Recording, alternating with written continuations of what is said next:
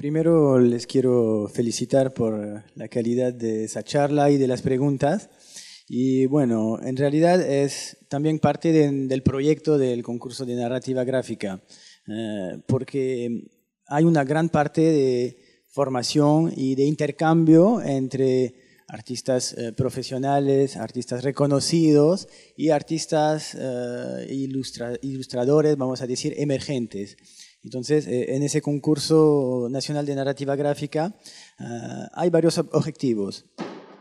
La formación y el reconocimiento de los creadores del género de narrativa gráfica en el Perú, y el eh, redescubrimiento de obras tópicas de la literatura peruana, literatura peruana perdón, eh, con eh, cuatro obras. El, conspirador de Mercedes Cabello, Pobre gente de París de Sebastián Salazar Bondi, Peregrinaciones de una paria de Flora Tristán y un libro de Cedar Vallejo que es El tungsteno. entonces, hay dos fases en ese concurso. La primera fase es una fase justamente de formación con eh, talleres semilleros. Tenemos eh, talleres sobre ilustración, sobre eh, guion, sobre bueno, unos encuentros con autores y creadores nacionales y también internacionales y eh, en la segunda fase, son cinco, cinco talleres en total, y en la segunda fase hay una selección del mejor proyecto. Después de esos talleres semilleros hay una, una selección y una declaración del ganador, que eso se realiza en diciembre del presente año. Em, entonces, en cuanto a tu pregunta, eh, para la, la fase de preselección, hay que entregar eh, para la fecha de, lo tengo aquí, el 15 de junio, eh, una serie eh, de, trabajos, vamos a decir. hay copia de las bases del concurso de, de firmadas, ficha de inscripción que se puede descargar todo en la página de la Casa de, la Literatura, en la página web. ¿no?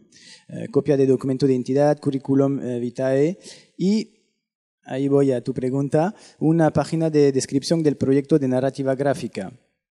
Eh, pedimos una página únicamente para que las personas, los autores, los creadores nos expliquen qué tipo de, qué, obra dentro de las cuatro se han, sido, ha sido perdón, elegida y por qué. Y una primera descripción de eh, de la idea que tienen de, la adaptación. O sea, no pedimos eh, un trabajo ya muy detallado porque es un primer paso, ¿no? Por eso pedimos una página nomás y explicar más o menos tus ideas, por qué has elegido eh, e, esa, obra. Eh, y luego pedimos una página que presenta un fragmento del guion y cuatro páginas de, de boceto en formato A3 de las novelas escogidas. No sé si he contestado a tu pregunta. De nada. De todas maneras me queda un poco eh, la duda de estos bocetos eh, no tienen que ser pues el diseño de la página finalizada. Debe ser solo a lápiz, no de repente no está implicado y tal. ¿Sí? Claro, es una, como te digo, es, un, es una primera etapa. No, no pedimos algo que va, que va a ser como el producto final, porque justamente la idea es que a través de esos cinco talleres, eh, la, la, ¿cómo puedo decir? La forma inicial pueda tal vez, tal vez cambiar, pueda también este, alimentarse de los consejos de eh, los profesionales que van a participar en esos talleres, ¿no? Entonces, igual, yo creo que es importante insistir sobre el hecho de que no queremos hacer, o sea, generar presión en los candidatos. La idea es generar más que todo creatividad, que los autores puedan expresarse, ¿no? Gracias. ¿Otras preguntas? Con respecto a, la selección eh, y la posterior fase, luego de los ingenieros, eh, ¿cómo se va a hacer esta selección del proyecto ganador? Y un poco los plazos de, la obra Mira, entonces el, el, calendario exacto lo tengo acá. Ya.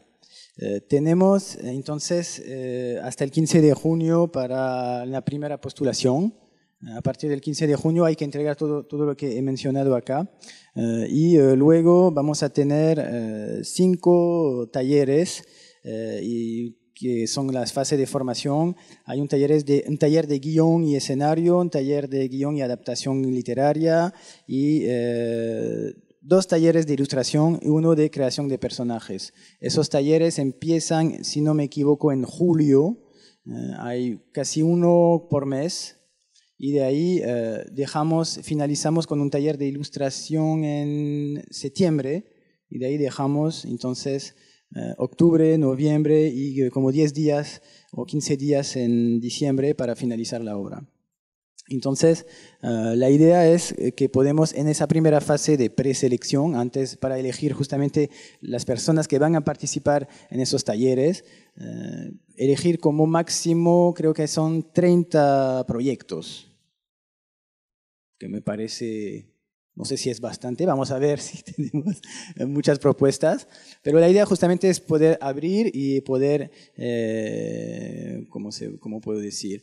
Eh, recibir una variedad de propuestas y de proyectos, ¿no? y tal vez tener a más gente, o sea, los más participantes posible en esa fase de talleres semillero. Y de ahí la selección final se va a realizar en la última fase, que va a ser este en, en diciembre. Hay un jurado que es compuesto de un representante de cada institución, entonces la Alianza Francesa, la Casa de la Literatura, el Ministerio de Cultura y la Embajada de Francia. Y también eh, vamos a contar con la participación de un eh, artista, de un, de un profesional de, de, los artes y de la literatura. Por ahora, eh, creo que no se ha todavía definido exactamente quién va a participar en ese jurado final, pero seguramente será dentro de tal vez de esos eh, profesionales o artistas que van tal vez a dictar los talleres. ¿Y la obra tiene que estar terminada para antes de esta selección final o, una, o digamos, tiene que avanzar una determinada cantidad de hojas y una vez que están seleccionados terminan la obra? Mira, como, lo decía, y eso está todo por escrito en la página web de la Casa de la Literatura, pero te puedo repetir, necesitamos antes del 15 de junio cuatro páginas de boceto, nada más. Y bueno, claro que es, hay también una página de presentación de, de, un fragmento del guion de la adaptación y una página de descripción del proyecto de narrativa gráfica, fuera de todo lo que es currículum, etcétera, etcétera. Entonces el trabajo tiene que ser avanzado para llegar a esas cuatro páginas, en realidad. refería ya a la, última fase. Ah, ya, en diciembre. Sí, o sea, tener una.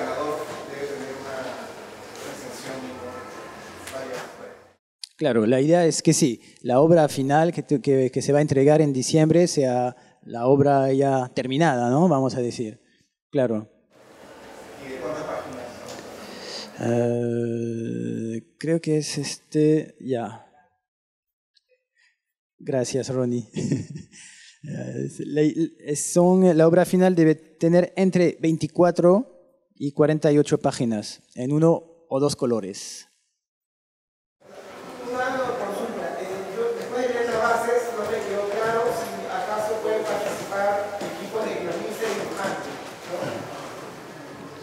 Justamente estuvimos conversando sobre el tema.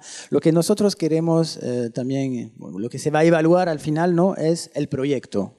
Entonces, no estamos evaluando a una sola persona, estamos evaluando a un proyecto y premiando a un proyecto. Entonces, eh, hemos pensado en que se podría eh, aceptar hasta un equipo de tres personas que trabajan en, en, un mismo proyecto, ¿no?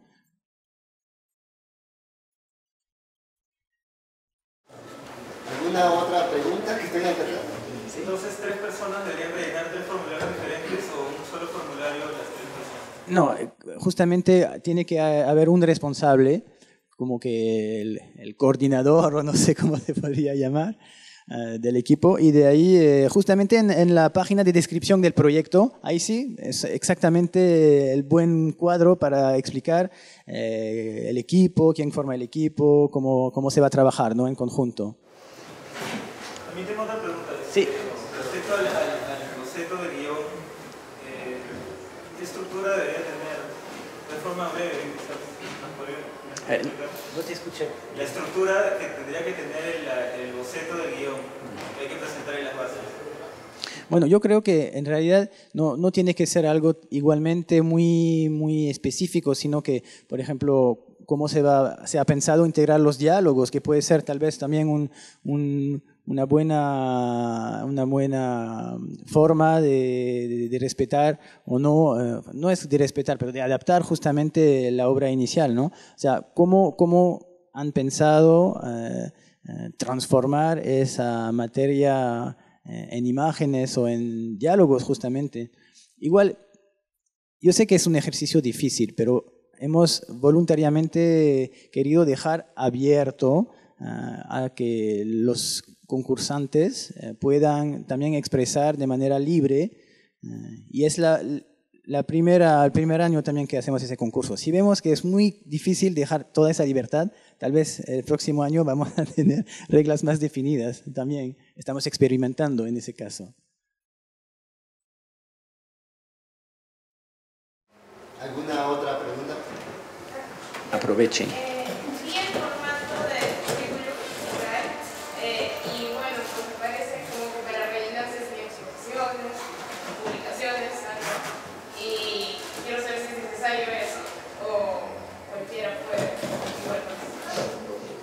En realidad es abierto a, a, todo perfil, a todos los perfiles. Entonces, el currículum es, claro, para explicar la, tal vez tu trayectoria, tu, tu, tu formación, eh, las, las, obras que te gustan, algunas referencias artísticas, ¿no? Y si, si has tenido publicaciones, igual lo puedes mencionar.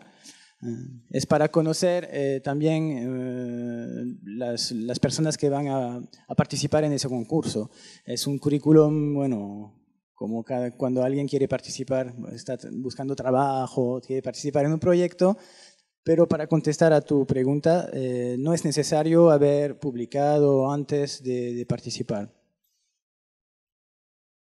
No sé si ha sido muy claro. ¿Alguien más tiene alguna pregunta? Yo quería saber cuántas páginas se van a dibujar. Cuatro páginas que son de, de, de, de puro boceto, ¿verdad? Cuatro páginas. Página que también es, es una escena. Me parece que es una, una, que es una página. No, para, para poder eh, participar en ese semillero de talleres, el, el, tenemos, se tiene que entregar cuatro páginas de bocetos de ilustraciones eh, en formato A3 de una de las novelas escogidas. De ahí, la, cuando pedimos una página, es una página de descripción del proyecto global y una página de, presentando eh, un fragmento del guion. Uh -huh. Sí. ¿Y son como bocetos de, de, ya de, de las viñetas o solo son bocetos de personajes? Bueno, igual eso es bastante libre, ¿no? O sea, cada uno, si, si, si, si si parece mejor este, expresar la, el tipo de dibujo, el estilo, haciendo algo eh, que sea muy libre. Y como estamos también en un formato de novelas gráficas o de narrativa gráfica, entonces también lo que esperamos nosotros es eh, un poco de, de, libertad y de creatividad en, en, los bocetos que vamos a recibir. Es difícil para mí contestar esa pregunta en realidad.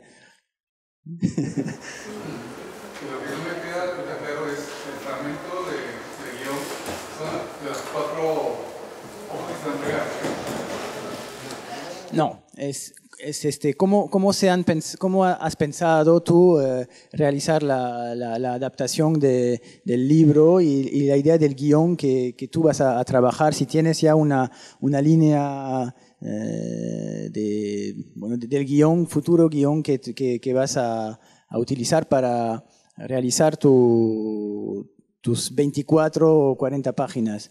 Uh, Igual en, ese, en, ese, en esa parte puedes también expresar tus eh, interrogaciones, tus dudas, tus dificultades al, adap al, adaptar la obra que has escogido. ¿ya? Pero la idea es, es que eh, pedir un trabajo mínimo a los participantes en cuanto a eh, la, las orientaciones generales, vamos a decir, de adaptación. Sí. Esas cuatro páginas de, de bocetos Ajá. significa que son cuatro imágenes por página o en una página puede haber varios dibujos. Bueno, eso depende, depende de ti en realidad. Eso depende de ti, porque todo es posible igual. Si puedes entregar cuatro páginas forma, forma A3 con un solo dibujo por página o, o este, algo, algo distinto con eh, mucho más dibujos. Eso, eso depende de ti, de cómo tú quieres presentar tu, tu trabajo de ilustración. Y esos dibujos tienen que ser en función a la, a la hoja que se va a entregar como boceto de video o son independientemente de uno. Es, es, es independiente.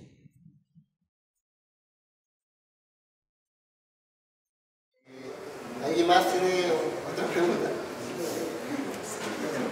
Ya, hablando, hablando por las personas que van a participar desde otras ciudades que no sean Lima, quería saber si va a haber algún tipo de apoyo para realizar los talleres, para acudir a los talleres. Claro, lo que hemos pensado es justamente hay eh, talleres que van a durar una semana, otros un solo día con los, eh, los artistas seleccionados. La idea es poder compartir y, bueno, eh, bloquear unos tiempos dedicados de manera individual a las personas que están fuera de Lima. Es decir, concretamente vamos a organizar, eh, ¿cómo se llama? Talleres a distancia, ¿no? Por videoconferencia, videollamada, por eh, este, Skype o WhatsApp, eh, con, eh, individualmente con las, las personas, los participantes que están fuera de Lima y esos profesionales, esos artistas que vamos a invitar a realizar los talleres. Entonces, hemos, hemos también queri- querido de manera muy importante dedicar ese espacio y poder dedicar esos tiempos de intercambio, en ese caso individual, eh, con eh, la gente que está fuera de Lima y eh, los animadores de los talleres. Así hemos pensado este, la relación ¿no? a distancia.